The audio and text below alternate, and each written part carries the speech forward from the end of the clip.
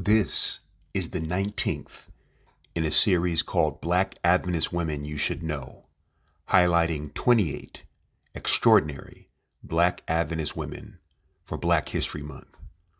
At blacksdahistory.org, everything is free, but we do ask you to donate, if you can, on the PayPal link in the video description below. Olivia Ward Bush Banks was born in Sag Harbor, New York in 1869 to parents of black and Montaukett descent. The Montauk, a Native American Algonquin speaking people indigenous to today's Long Island, New York.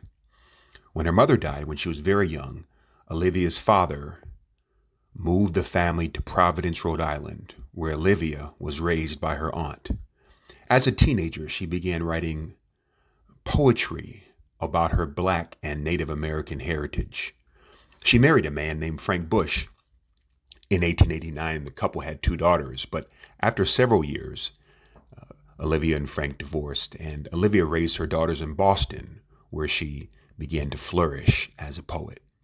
In 1899, she published her first collection of poems titled Original Poems, which fellow poet Paul Laurence Dunbar praised as, quote, an inspiration to the women of our race. Carter G. Woodson was also a fan publishing her poetry in his Journal of Negro History. In the preceding years, Bush Banks published her poetry in a number of other prestigious publications, as well as another chapbook, a book of poetry titled Driftwood in 1914. Bush Banks's poetry was wide ranging in the topics it covered, including race, ethnicity, religion, character, elegies, war, loss, and civil rights.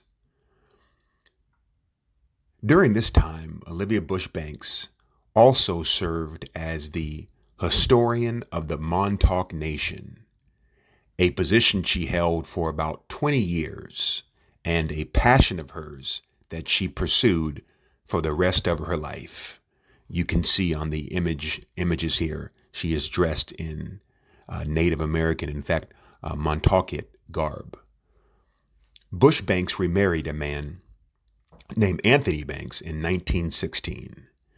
In the early 1920s, she moved with her family to Chicago, where she founded a drama school, the Bush Banks School of Expression, and taught acting in Chicago public schools. She wrote several plays that have survived, which shrewdly depict the Black and Indian experience in America. It was in Chicago that she attained a legendary status among Black artists, known as the Grand Dame of the Literati. Although we don't know for sure, Olivia Bush Banks probably became a Seventh day Adventist in the early 1920s, as there's records of her giving performances of her poetry at Adventist hospitals, schools, and churches. Bush Banks's final home was where it all began, in New York City.